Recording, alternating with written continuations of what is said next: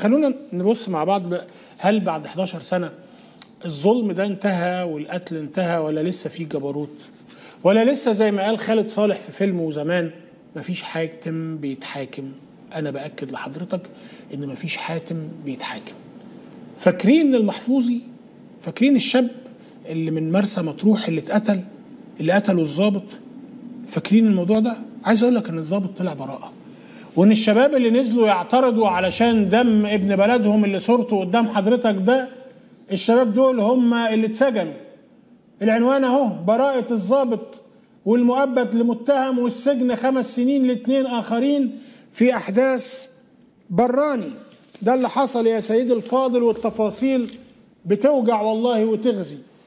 محكمة جنايات اسكندرية النهاردة قضت بمعاقبة متهم بالسجن المؤبد والسجن خمس سنين لمتهمين لمتهمين اثنين. لإدانتهم في أحداث التجمهر والعنف اللي حصلت قدام اسم سيدي براني في مطروح في أعقاب مقتل الشاب فرحات المحفوظي برصاص ضابط شرطة. طب وضابط الشرطة اللي الناس طلعت تتجمهر وتتظاهر وتعترض علشان هو قتل محفوظ آه، علشان قتل فرحات المحفوظي. حصل له إيه؟ نفس المحكمة طلعته براءة. وزي ما قلت لك مفيش حاكم بيتحاكم. الضابط قتل آه، محفوظ آه، قتل المحفوظي. زي ما حضرتك شايف فرحات المحفوظي اتقتل فالناس نزلت تعترض وتتجمهر قدام الاسم.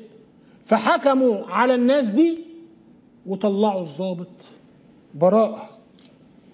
تعال نفتح الأرشيف ونشوف خبر من الأرشيف عن الموضوع عشان تعرف إن البلد ماشية كده.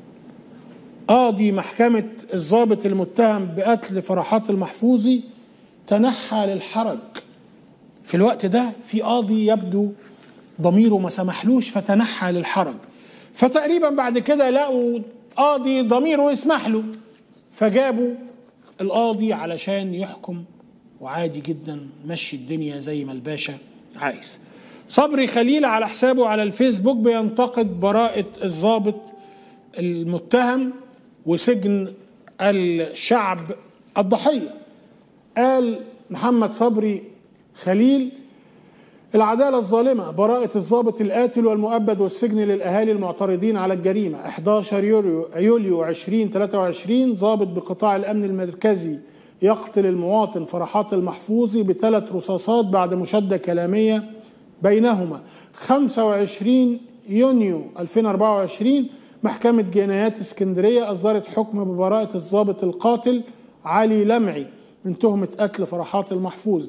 12 أغسطس آه، 2024 محكمة جنايات اسكندرية تقضي بمعاقبة أحد الأها- أهالي مطروح بالسجن المؤبد والسجن خمس سنين لاثنين آخرين بعد إدانتهم في أحداث التجمهر والتظاهر في محيط اسم سيدي براني في مطروح اعتراضا على قتل ضابط شرطة للشاب فرحات المحفوظي خالد حسني الخولي بيكتب هو كمان على حسابه على الفيسبوك وبيقول القضاء الشامخ. فاكرين قضية سيدي براني؟ الضابط اللي قتل عمدا مواطن أخذ براءة.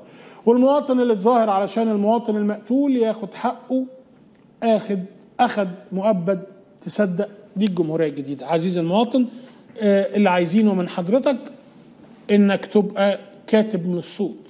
تبقى بتخاف. لما تشوف الغلط ما تقولش لأ. لما تشوف ضابط بيتفرعن وبإجرام يقتل مواطن بريء ما تتظاهرش. وما تقولش حاجة غير اللي السلطة عايزاها يا إما هنحبسك. ده تغيير صفات المصريين وتغيير طباع المصريين. كده عايزك خانع خانس. ملكش حق وما بتطالبش بحق حد. وعلشان كده الضابط أحمد زي ما قال السيسي زمان الضابط أحمد لما يضرب حد ما بيتحاسبش.